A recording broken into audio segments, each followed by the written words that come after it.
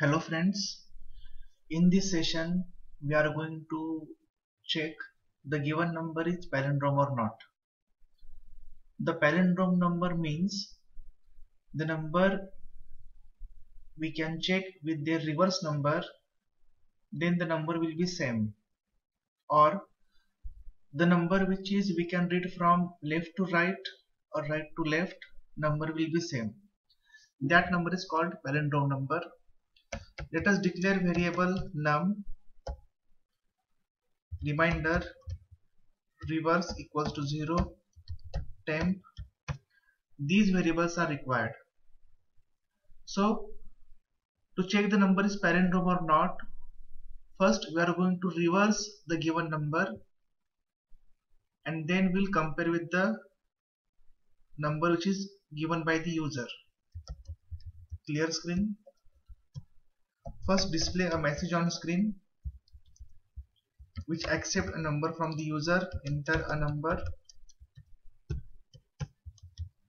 scanf that number ampersand num.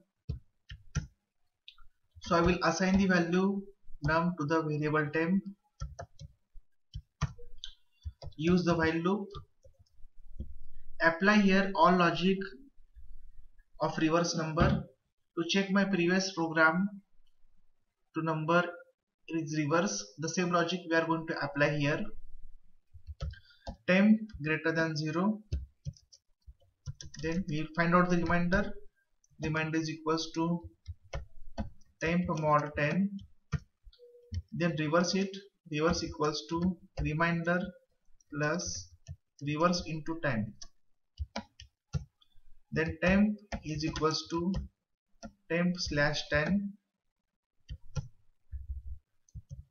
out of the while loop I will check the given reverse which is equal or not with variable num. If it's true then I will display percent d is a palindrome number otherwise else I will display percent d is not a palindrome number. Here percent d means value of num we are going to display. So similar. Now check okay. Compile the program alt f9 run program. Enter number suppose 121 so you can read that number from left to right and right to left. It's the same. So 121 is a palindrome number. Check other. 122 it's not a palindrome. So 122 is not a palindrome number. Okay friends. Thanks for watching はい。